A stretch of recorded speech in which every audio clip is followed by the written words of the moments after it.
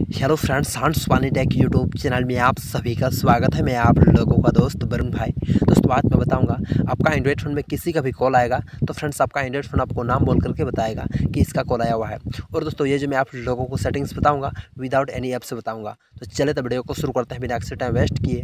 दोस्तों, वीडियो को शुरू करने से पहले मैं आप लोगों से कहना चाहता हूँ, आप अगर हमारे यूट्यूब चैनल को सब्सक्राइब नहीं किया तो सब्सक्राइब कर लीजिए और उसके साथ घंटी का बटन है, उसे ऑल नोटिफिकेशन ऑन कर लीजिए, ताकि हमारे हर अपडेट वीडियो को नोटिफिकेशन आपको मिले। सबसे पहले। तो फ्रेंड्स, इसे सेटिंग्स करने के लिए सबसे पहले अपने एंड्रॉइड फ़ोन का आपको डाल रहा ऐप आपको ओपन करना है। तो यहाँ पे मैं कोड डाल रहा ऐप आपको ओपन कर लेता हूँ। कोल डालर ऐप को ओपन करने के बाद आप लोगों को इस तरह का देखने को मिलेंगे। तो राइट ऊपर साइड में आपको देखने को मिले थ्री डॉट तो थ्री डॉट पर आपको क्लिक कर देना है।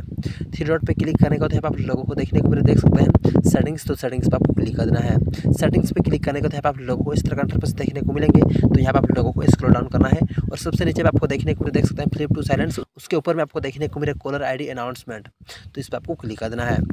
इस पर क्लिक करने के बाद यहाँ पर आप लोगों को इस तरह का इंटरफेस देखने को मिलेंगे तो यहाँ पर आप लोगों को देखने को देख सकते हैं अनाउंस कॉलर आईडी तो इस पर आपको क्लिक कर देना है।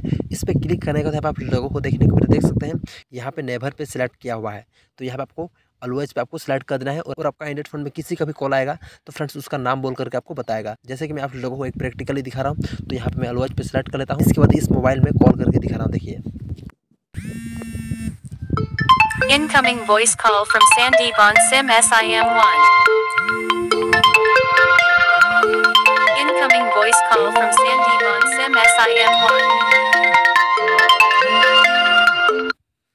दोस्तों, आप लोग सुन लिए, मैंने एक मोबाइल से कॉल किया तो यहाँ पर आप लोगों को सुनने को मिला, जिसका नाम यहाँ पे सेव किया हुआ था, उसी का नाम यहाँ पे बोल रहा था दोस्तों, इस तरह से आप अपने एंड्रॉइड फ़ोन में इसे आप सेटिंग्स कर सकते हैं तो आज का वीडियो में इतना ही, उम्मीद करता हूँ ये वीडियो आपको पसंद आए पसंद आए तो वीडियो को लाइक करें और अगर आप हमारे यूट्यूब चैनल को अभी तक सब्सक्राइब नहीं किया तो प्लीज़ सब्सक्राइब कर लीजिए और उसके साथ एक घंटी का बटन है, उसे ऑल नोटिफिकेशन को ऑन कर लीजिए ताकि हमारे हर अपडेट वीडियो का नोटिफिकेशन आपको मिल जाए सबसे पहले। तो चले तो मिलता है अगले वीडियो में एक न्यू वीडियो के साथ। तब तक के लिए जय हिंद, वंदे मातरम।